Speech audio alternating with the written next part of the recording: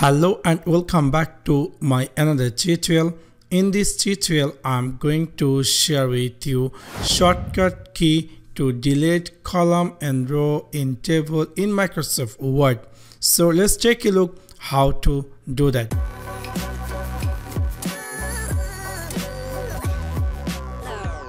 In order to do that, I'm going to open a Microsoft Word this is a Microsoft Word example document and I would like to uh, delete this uh, tired column or row using keyboard shortcut key.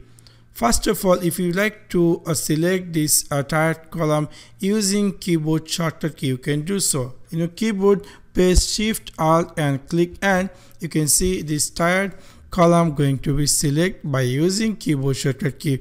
For example, you would like to select this tired row also you can do so. In your keyboard click shift alt and then click page down. You can see this tired row also selected. So this is how you can easily select column or row in Microsoft Word. Also you can select a tired column or row by using your mouse right click hold over there and it's going to be select. So anyway if you want to select the row you can do same way now let me share with you how you can delete the tired column or row using keyboard shortcut key. For example, I would like to delete this tired column using keyboard shortcut key. First of all, I'm going to select this uh, tired column you can see now I had selected and now I would like to delete this tired column for that what you have to do in your keyboard press alt and then press a so after that erase alt a and then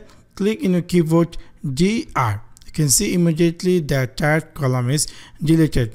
Let me show it to you again. First of all i had selected this column and now i would like to delete this column using keyboard shortcut key. So what you have to do in your keyboard press alt and a. And then after that click in your keyboard dr you can see immediately that uh, column is deleted.